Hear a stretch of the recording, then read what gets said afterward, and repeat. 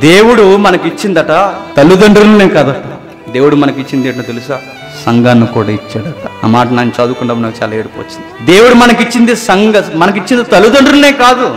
సంఘాన్ని కూడా ఇచ్చాడు. ఆ సంఘాన్ని బాధ పెడితే నేనేం చేయాలి? ఆ నాయకుడిని బాధ పెట్టే పని నువ్వు చేస్తే నేనేం చేయాలి? ఆ మాటలు నువ్వు మాట్లాడితే నేనేం చేయాలి? దేవుడు మన మన మేలు కొరకు సంఘాన్ని ఇచ్చాడట. నేను అంటున్నానండి మన జీవితాల్లో మన జీవితాల్లో సంఘం లేదు అని ఒకసారి ఊహించుకోండి. నేను మరలా అడుగుతున్నాను. నీ జీవితంలో సంఘము లేదు అంటే ఒకసారి నీ లైఫ్ ఎలా ఉంటుందో ఊహించుకోండి. ఎలా ఉంటుంది?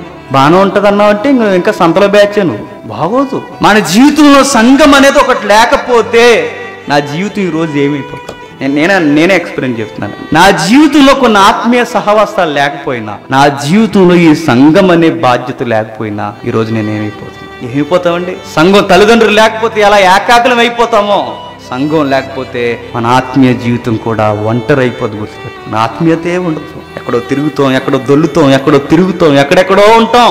మన జీవితం ఈరోజు రోజు చెప్తున్నా కుక్కలు చింపిన ఇస్తరైపోతుంది సంఘం అనేది అంత ముఖ్యమైన పాత్ర మన జీవితంలో పోషిస్తుంటే మాట్లాడితే మనం దేని మీద కోపం ఇస్తాం చెప్పండి? చెప్పండి బాగా లోకువైపోయింది ఈ మధ్య. దేని మీద కోపగిస్తాం సంఘం మీద కోపగిస్తాం సిగ్గుందా మాట అసలు? సంఘం మీద కోపగించడం ఏంటి? నాయకుల మీద కోపగించడం ఏంటి? అసలు ఆ పనులేంటి చాలా చాలా పొగరగా అంటారండి రావండి రేపు నుంచి సంఘానికి అంటే. రాకు.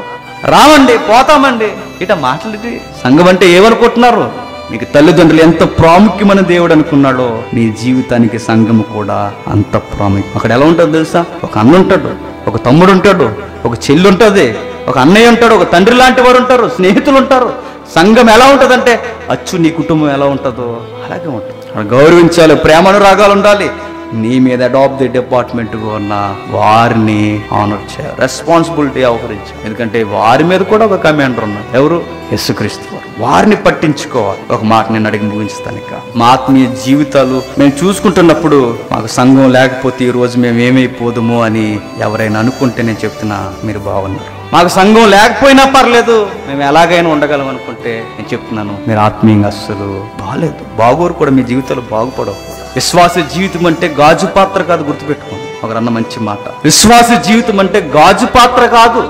మీరు షోకేసులో బొమ్మలు అలా ఉండడానికి సంఘం. మిమ్మల్ని అడుగుతారు ప్రతిదీ కదుగుతారు మిమ్మల్ని కడిగేస్తారు హెచ్చరిస్తారు. ప్రతి దాన్ని లెక్క అడుగుతారు గాజు పాత్రలను ఉంటారండి స్టైల్గా వస్తానండి కూర్చుంటానంటే పోయి కూర్చో సోకేసులు. అక్కడికి పో. భక్తి జీవితం అంటే తెల్ల సొక్కాలు భక్తి జీవితం అంటే స్త్రీ సొక్కాలు కాదు. భక్తి జీవితం అంటే వచ్చి కూర్చొని కడుపులో మధ్య కూడా కదలకపోవడం కాదు. భక్తి జీవితం సంఘ సహవాసం అంటే గాజు పాత్రలో ఉండడం కాదు. నిన్ను అడుగుతారు కడుగుతారు హెచ్చరిస్తారు. అది సంఘం.